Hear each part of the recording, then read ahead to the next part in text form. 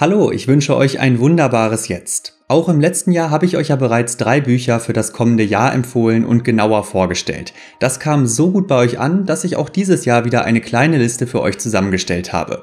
Hier sind also drei Bücher, die dein Jahr 2024 ganz besonders prägen könnten. Die Links zu allen Büchern findet ihr natürlich in der Beschreibung.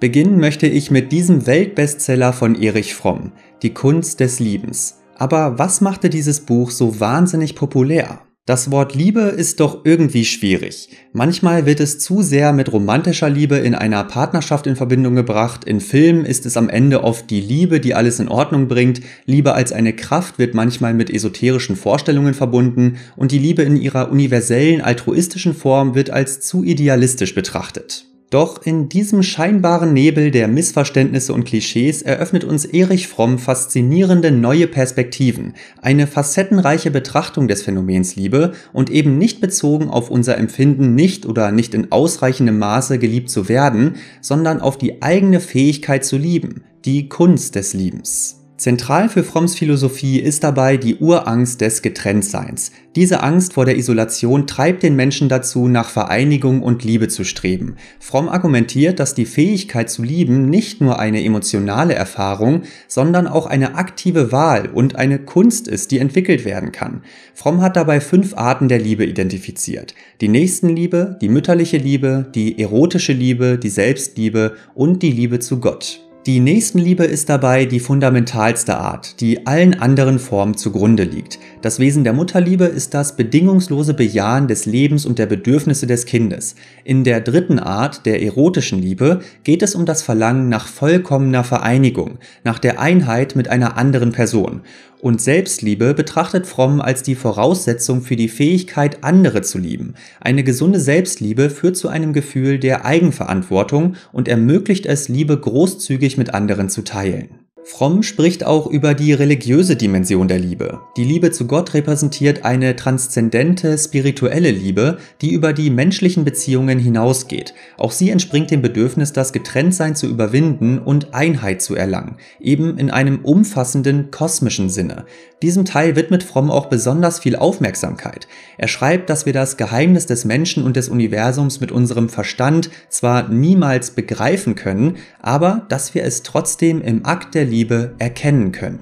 Er skizziert dabei die Entwicklung der Menschheit in Bezug auf Religion mit all den verschiedenen Stufen, die wir geschichtlich bereits durchlaufen haben, bis hin zur höchsten Form der Religion, in der der Mensch von Gott nur noch in einem poetischen und symbolischen Sinn spricht. Er kommt zu dem Schluss, dass das letzte Ziel der Religion nicht der rechte Glaube sei, sondern das richtige Handeln. Aber ich will euch jetzt nicht zu viel vorwegnehmen. Es ist ein wahnsinnig inspirierendes Buch auf so vielen Ebenen, dass ich es jetzt über die Weihnachtsfeiertage auch nochmal gelesen habe. Es ist auch nicht zu umfangreich, nicht zu kompliziert geschrieben, nicht zu abstrakt, sondern mit einem konkreten Mehrwert für das eigene Leben. Ich möchte den Leser davon überzeugen, dass all seine Versuche zu lieben fehlschlagen müssen, sofern er nicht aktiv versucht, seine ganze Persönlichkeit zu entwickeln und es ihm so gelingt, produktiv zu werden. Ich möchte zeigen, dass es in der Liebe zu einem anderen Menschen überhaupt keine Erfüllung ohne die Liebe zum Nächsten, ohne wahre Demut, ohne Mut, Glaube und Disziplin geben kann. Ihr wisst ja, dass Meditation eines der Kernelemente meiner Arbeit ist. Mit der Mindbuilding App habe ich da ja ein Angebot geschaffen, um all meine Erkenntnisse, meine Erfahrungen und mein Wissen nach und nach übersichtlich für euch aufzubereiten. Natürlich gibt es in Bezug auf Meditation aber noch viele Klischees und Missverständnisse. Ich selbst musste damals vor mittlerweile über zehn Jahren auch erstmal überzeugt werden. Und dabei war für mich ein sehr entscheidender Punkt, vielleicht sogar der entscheidende Punkt, die wissenschaftliche Forschungslage.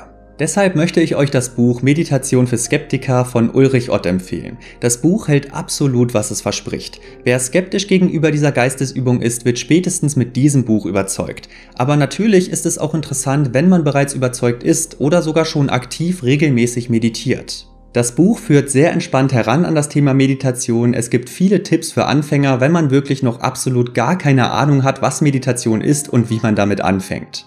Ulrich Ott beschreibt auch, woher bestimmte Techniken kommen und wie sie in verschiedenen Traditionen und Übungsformen praktiziert werden. Besonders interessant waren und sind für mich dann vor allem die Ausführungen zur wissenschaftlichen Erklärung über die Wirkung von Meditation und zur aktuellen Forschungslage. Beispielsweise wird beschrieben, warum die Atembeobachtung als Grundlage dient, welche Hirnnetzwerke dabei auf welche Weise angesprochen werden und es gibt eben auch Verweise auf Studien, die belegen, wie das Hirn tatsächlich durch diese Art der Übung trainiert wird.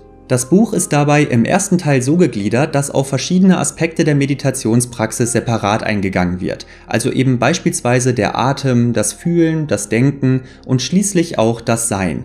Auf dieser letzten Ebene geht Ulrich Ott also sogar über Meditation als reine Konzentrations-, Entspannungs- und Wohlfühlübung hinaus. Hier geht es um das Dasein an sich, um existenzielle Fragen, die uns tief bewegen. Im zweiten Teil des Buchs geht es dann an die wissenschaftliche Vertiefung, die richtigen Fragestellungen und Methoden, den Einfluss von Meditation auf unsere körperliche und mentale Gesundheit, speziell auch die Messung von Hirnaktivität und welche Schlüsse wir daraus ziehen können.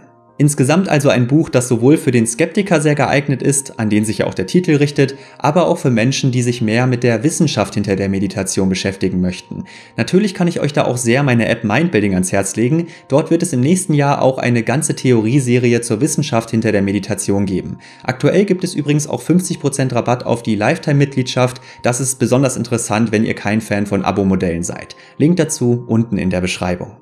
Dank moderner neurowissenschaftlicher Verfahren können wir heute Wirkungen von Meditationsübungen auf die Aktivität und die Struktur des Gehirns objektiv untersuchen und nachweisen. Diese Forschung demonstriert eindrucksvoll die Plastizität der neuronalen Schaltkreise, die unser Bewusstsein bestimmen und zugleich durch das verändert werden, was wir tun.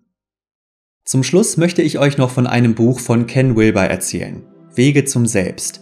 Wilber ist bekannt für seine Arbeit im Bereich der integralen Theorie. Er hat zahlreiche Bücher geschrieben, die sich mit Themen wie Psychologie, Spiritualität, Bewusstseinsentwicklung, Philosophie und Wissenschaft auseinandersetzen.